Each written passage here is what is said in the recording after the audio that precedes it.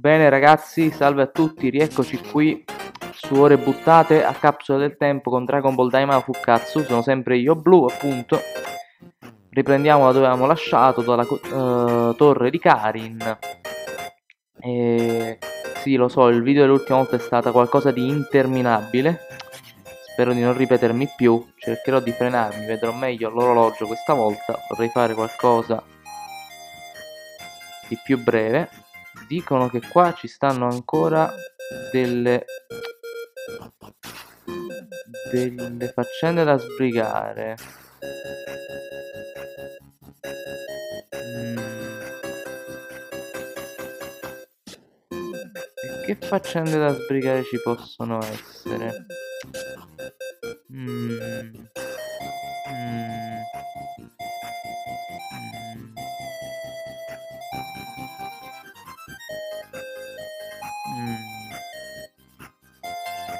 Devo tornare sulla torre di Karin? Vabbè, vabbè, sì, sì, sì, sì. Sarebbe bello se potessi diventare più forte ogni volta che la scalo sarebbe anche troppo facile. Allora. Ah, la mia velocità mi fa sbagliare. Perdonatemi. No, potete anche non perdonarmi. Ragioniamo. Cercare l'abbiamo fatto. Abbiamo parlato con costoro. Non si può andare a est, a ovest. Se vado a nord arrivo in questa foresta. Troppo quiete, dice.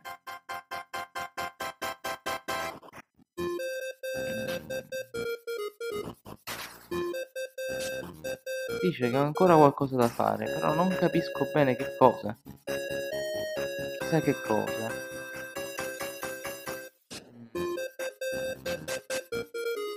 mente magari devo usare qualcosa? Ma anche no.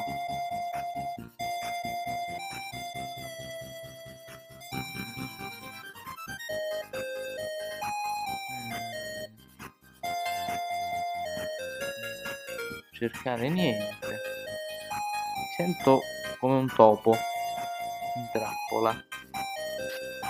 Uh,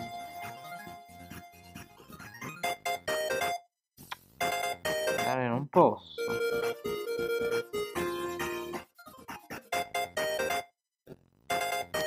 Non mi dicono niente in più.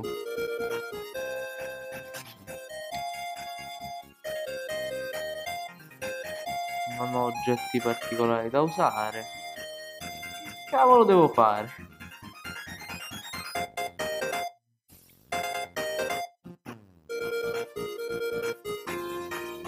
Cioè, non ho capito neanche bene perché hanno messo questa, diciamo, posizione, se, la possibilità di premere nord, se effettivamente non ci posso andare. Cioè, dovrò fare qualche cosa, ma mi chiedo che cosa. Ability?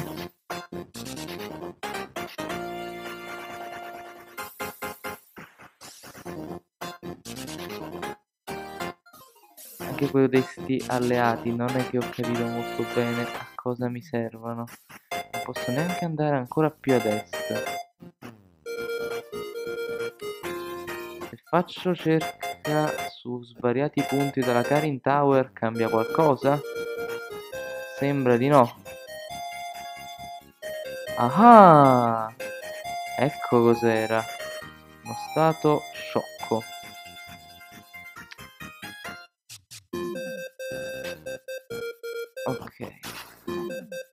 non me lo sarei mai aspettato effettivamente ci dovevo anche pensare un po' prima dobbiamo tornare al villaggio dobbiamo andare al villaggio pinguino dove si trovano il dottor Slump e Arale sarà interessante e noi ci alleniamo come solito un tamburin tanto ci vogliono 110 punti esperienza siamo a livello 8 Oramai anche un tambourine in teoria non dovrebbe essere una grande minaccia. Eh, debole non è, però.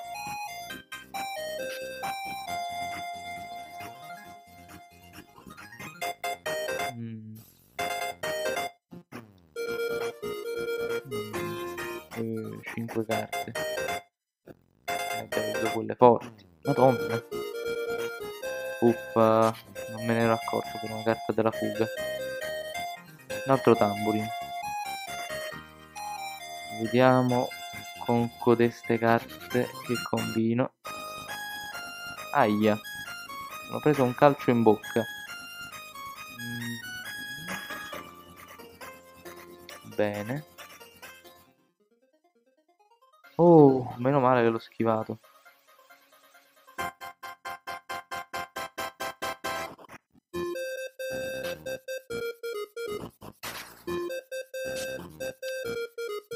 Capitano carte buone e vai.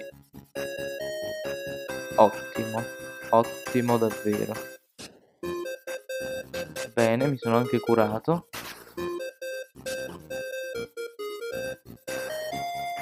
Un altro Benjo, che per l'appunto è comunque più debole di Tamborin. Kamehameha e arrivederci presumo. Mm -hmm ottima cosa. Questo è il villaggio pinguino, siamo in cerca delle sfere del drago. A Twig has fallen una Twig parrucca?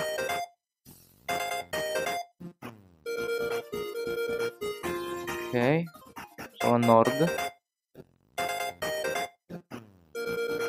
Uh, siamo andati a nord, se andiamo a sud torniamo indietro. Mm. Ok. La casa di Senbei. Oh oh, eccolo qui.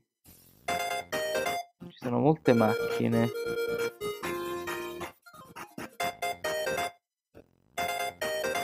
Secondo me succederà qualcosa se proviamo a colpire la porta, un po' come quando siamo affogati, però noi ci proviamo. Kamehameha. Abbiamo aperto la porta, Senbei era intrappolato dentro. Poi lascio, chi sarà stato?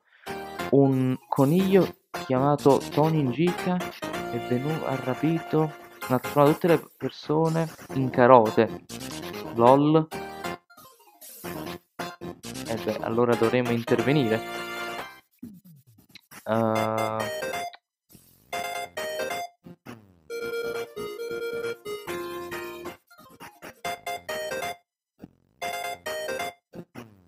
Bene, abbiamo una, trovato una bella cacca.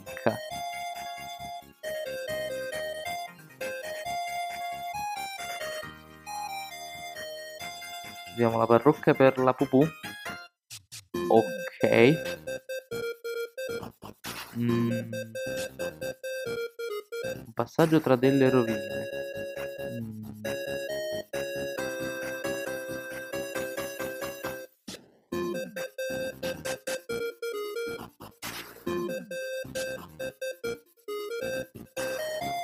Questa casa non ci posso andare. Uh, arale con Gaccian. Mm. Vuole venire anche lei, chissà, forse se torniamo indietro ora cambierà qualcosa? Forse magari alle macerie cambierà qualcosa, però io provo lo stesso. No. Ah, forse dobbiamo semplicemente tornare a casa di Senbei. Uh,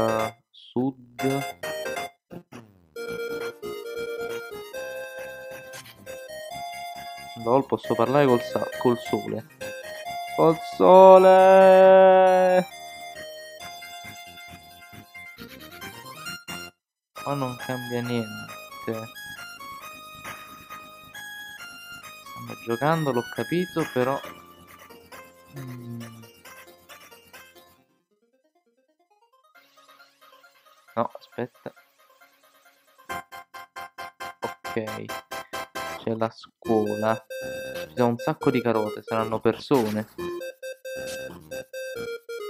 Ecco il coniglio.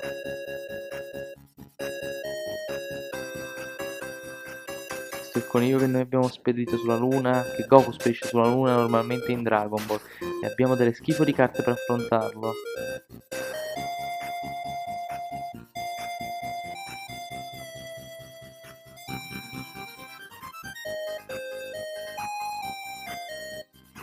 Abbiamo evocato orale.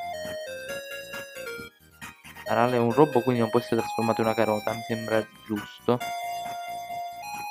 Ok, farà tornare tutti normali. Bene. Oh, Suppaman, il nostro caro eroe che mangia prugne. Ci ringrazia. Ci vuole dare un'informazione un su degli alieni. Uh, andiamo a destra, andiamo a nord, no, nord, nord, nord. Forse nella casa ora? No. Uh, nord di nuovo? Abbiamo trovato una navicella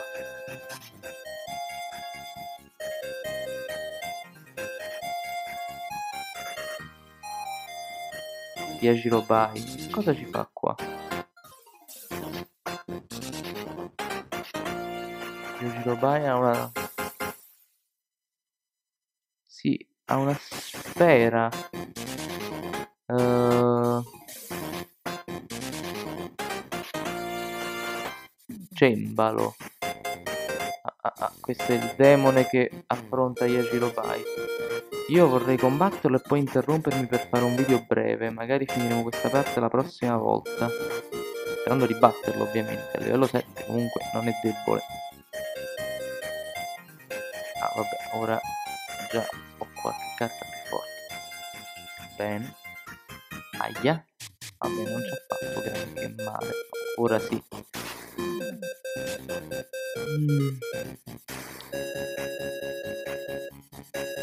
Se mi capitasse pure qualche carta buona. Ok sono morto. Va bene.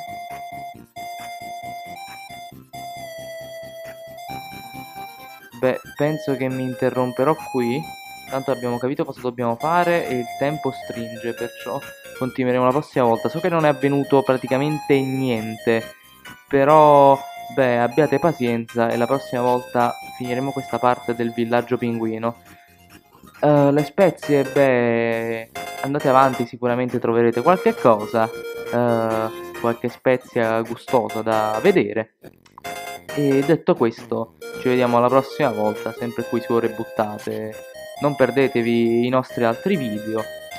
E ci vediamo appunto al, con me ci vediamo alla, a capsula del tempo sempre qui con Dragon Ball DMF cazzo ciao ragazzi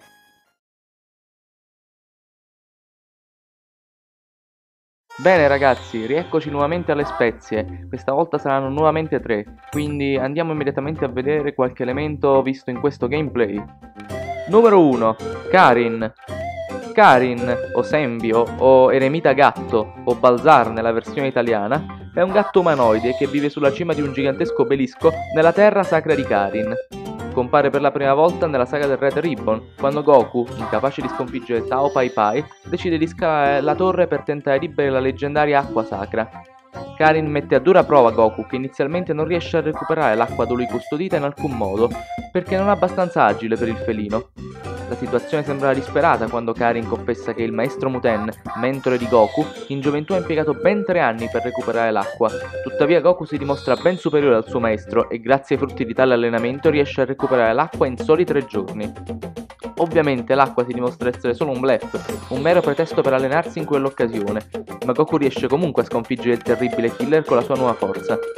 Nonostante ciò, Karin possiede davvero un'acqua magica, l'acqua ultra divina, in grado di risvegliare il vero potenziale di chi la beve, se questi però è degno ed è sufficientemente forte. Grazie a quest'acqua, Goku acquisisce la forza sufficiente per combattere alla pari e sconfiggere il grande mago piccolo. Karin è l'unico a possedere e a coltivare i leggendari sensu o fagioli di Balzar, il legume miracoloso in grado di guarire istantaneamente ogni ferita e fatica e di sfamare chi ne mangia uno per 10 giorni. Tale cibo è stato fondamentale durante tutta la serie per le battaglie dei guerrieri Z. Nonostante l'aspetto, Karin è considerato il dio delle arti marziali e possiede un'immensa forza considerato quando appare nella serie, con un livello di combattimento di 190 secondo il Weekly Shonen Jump, rendendolo più forte persino di Goku anche dopo il 22 torneo mondiale di arti marziali, dopo la sua battaglia con Tenshin Han. Egli è nato approssimativamente nell'anno meno 50, ossia 800 anni prima del suo incontro con Goku, avvenuto nell'anno 750. Toriyama per disegnare l'aspetto di Karin si è basato sull'aspetto del proprio gatto. Nonostante quasi tutti conoscono un Karin di colore bianco, in realtà, come si vede in questo gameplay, Karin possiede una pelliccia di colore blu.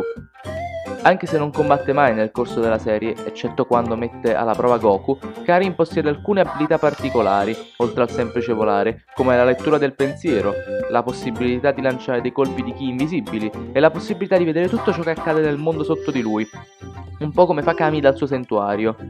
Inoltre Karin è anche l'inventore della tecnica Zanzouken, il colpo dell'immagine residua utilizzato dal maestro Muten e insegnato a Goku e ad altri allievi.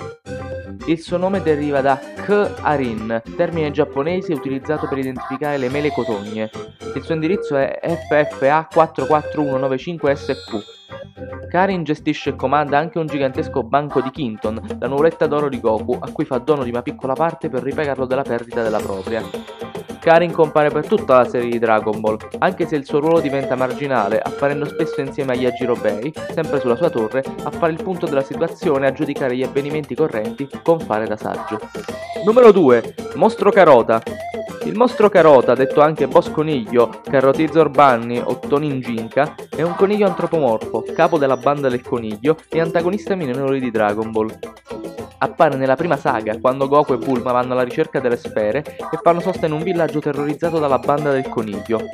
Dopo averne sconfitto i minion, il gruppo si ritrova di fronte al mostro carota, che trasforma Bulma in una carota, e sarà necessario l'intervento di Yamcha per salvare la situazione e permettere a Goku di sconfiggere il Ninjinka, portando lui e i suoi uomini sulla luna grazie al suo bastone magico.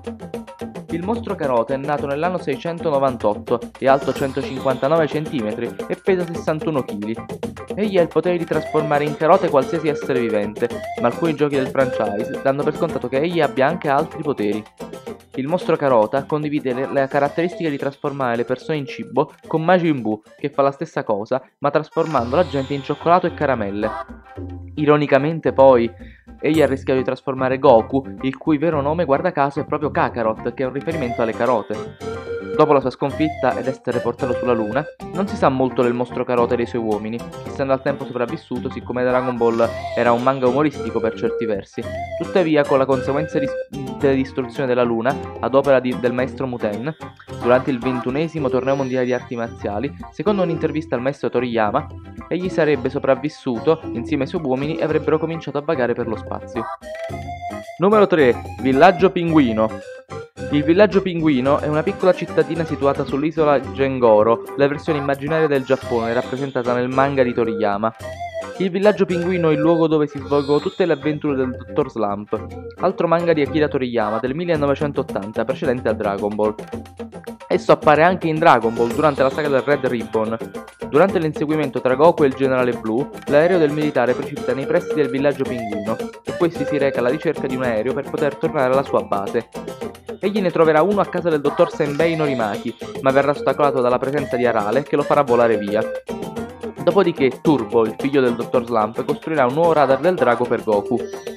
Il villaggio pinguino è un luogo più unico che raro nel mondo di Dragon Ball. Qui sembra che non solo le persone e gli animali, ma anche gli, alcuni oggetti, le montagne, il sole, sono dotati di personalità e sono esseri viventi. Quasi tutti gli abitanti del villaggio tendono a rompere la quarta parete e si rendono conto di trovarsi in un manga o in un anime. Al villaggio pinguino non si utilizzano capsule Aipoi né forze di difesa a parte la polizia locale.